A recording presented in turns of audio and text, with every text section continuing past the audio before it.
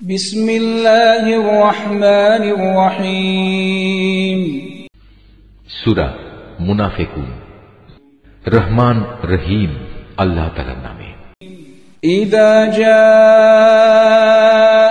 المنافقون قالوا نشهد إنك لرسول الله والله يعلم إنك لرسوله والله يشهد إن المنافقين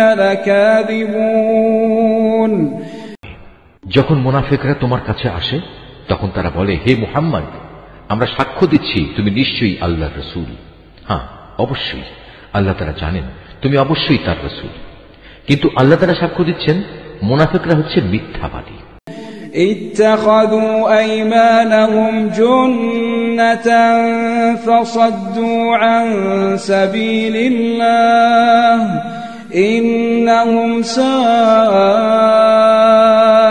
ما كانوا يعملون এরা তাদের এ শপথকে স্বার্থ উদ্ধারের একটা ঢাল বানিয়ে রেখেছে এবং তারা এভাবেই মানুষদের আল্লাহর পথ থেকে ফিরিয়ে রাখে কত নিকৃষ্ট ধরনের কার্যকলাপ যা এরা করে যাচ্ছে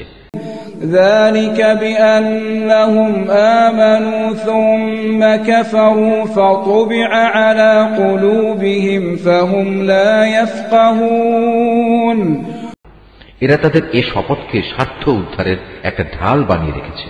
এবং তারা এভাবেই মানুষদের আল্লাহর পথ থেকে ফিরিয়ে রাখে কত নিকৃষ্ট ধরনের কার্যকলাপ যা এরা করে যাচ্ছে এটা এ কারণেই এরা ইমান আনার পর কুফরি অবলম্বন করেছে ফলে ওদের মনের উপর সিল মেরে দেয়া হয়েছে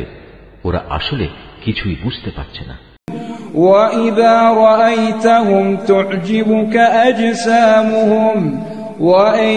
يقولوا تسمع لقولهم كأنهم خشب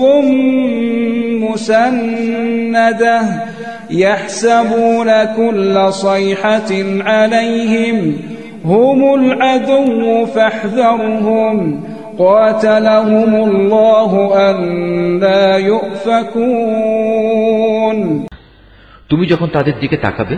তখন তাদের বাইরের দেহাবয়ব তোমাকে খুশি করে দেবে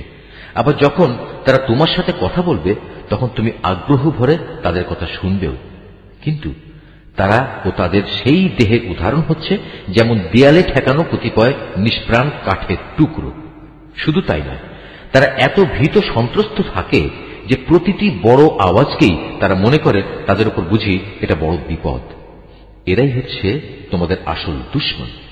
এদের থেকে তোমরা হুঁশিয়ার থেকো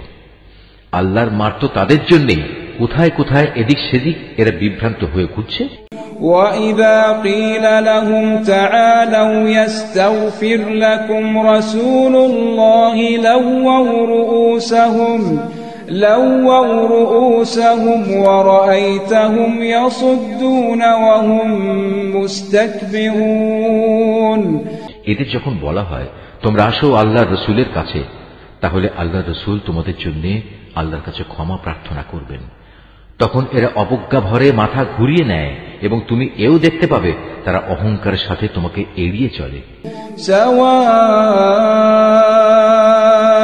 عليهم أستغفرت لهم أم لم تستغفر لهم لن يغفر الله لهم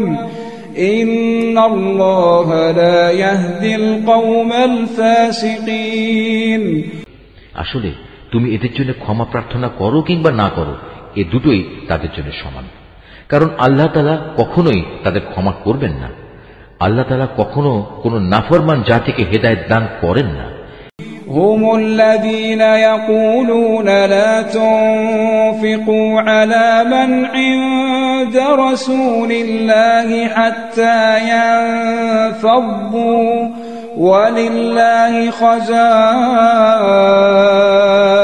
السماوات والأرض ولكن المنافقين لا يفقهون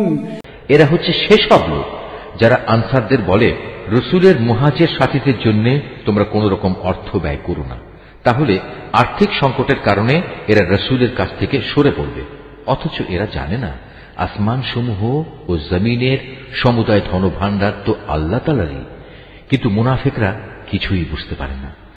يقولون لئن رجعنا إلى المدينة ليخرجن الأعز منها الأذل ولله العزة ولرسوله وللمؤمنين ولكن المنافقين لا يعلمون তারা বলে আমরা মদিনায় ফিরে গেলে সেখানকার সবল দলটি মুসলমানদের দুর্বল দলটিকে সে শহর থেকে অবশ্যই বের করে দেবে আসলে যাবতীয় শক্তি সম্মান তো আল্লাহ তালা তার রসুল ও তার অনুসারী মোমেন্টের জন্য কিন্তু মুনাফেকরা এই কথাটা জানে না يا أيها الذين آمنوا لا تلهكم أموالكم ولا أولادكم عن ذكر الله ومن يفعل ذلك فأولئك هم الخاسرون হে ইমানদার ব্যক্তিরা তোমাদের ঐশ্বর্য ও সন্তানাদি যেন কখনো তোমাদের আল্লাহ স্মরণ থেকে উদাসীন না করে দেয় কেননা যারা এ কাজ করবে তারা চরম ক্ষতিগ্রস্ত হবে وأنفقوا مما رزقناكم من قبل أن يأتي أحدكم الموت فيقول فيقول رب لولا أخرتني إلى أجل قريب فأصدق وأكن من الصالحين আমি তোমাদের যা কিছু অর্থ সম্পদ দিয়েছি তা থেকে তোমরা আল্লাহর পথে ব্যয় করো তোমাদের কারো মৃত্যু আসার আগেই কেননা সামনে মৃত্যু এসে দাঁড়ালে সে বলবে হে আমার মালিক তুমি যদি আমাকে আরো কিছু কালের অবকাশ দিতে তাহলে আমি তোমার পথে দান করতাম এবং এভাবেই আমি তোমার নেক বান্দাদের দলে সামিল হয়ে যেতাম ولن يؤخر الله نفسا إذا جاء أجلها والله خبير بما تعملون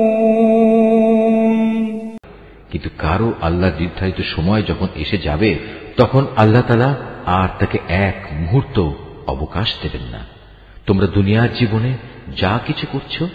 আল্লাহ তারা সে সম্পর্কে পুরোপুরি অবহিত রয়েছেন।